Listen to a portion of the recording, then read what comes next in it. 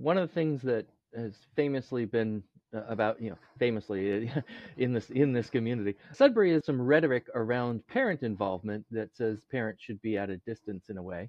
What's the sensibility at, at arts and ideas sudbury regarding parents? Parents are almost paying us to not know what their kids are doing. We find ah. that students really thrive when they are separated from the self that their parents know their strengths mm-hmm. and who they are really can arise out of them once they have that privacy. So we really do maintain quite the wall amongst what what kids do here at school and parents.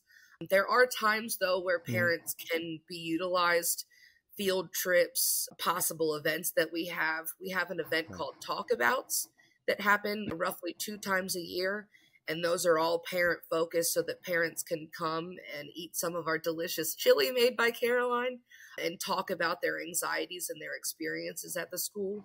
So we do have a lot of support for parents in that sense.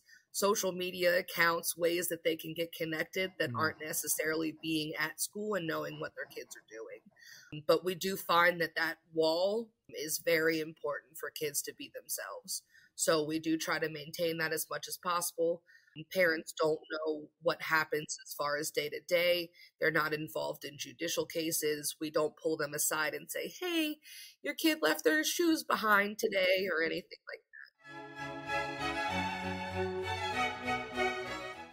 This is the Agentic Schools Vodcast, where you will learn about schools from around the world where children's agency to make decisions about their learning and living is more important than their academic skills. What makes education possible is the satisfaction of psychological needs. So that is what these schools have in common with all others. What makes a school agentic is satisfying those needs particularly well. I'm your host, Don Berg.